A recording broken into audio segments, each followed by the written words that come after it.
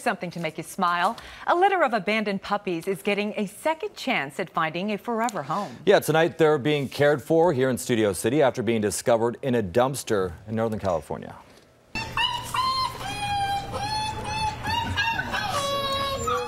Doesn't that just tug at your heartstrings? Yes. Rachel, you need a dog. Well, the abandoned puppies, they're now getting some much needed TLC from animal rescue activists at Wagmore Pets. Now, hmm. volunteers, they drove four hours each way to bring them here.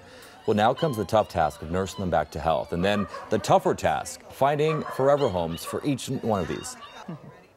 We got a call from a woman in Chowchilla that actually found a litter of puppies in a bag in a dumpster at the AutoZone.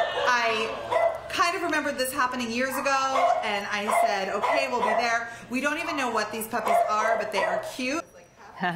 all the abandoned puppies needed treatment for fleas, but we're told they are all doing well.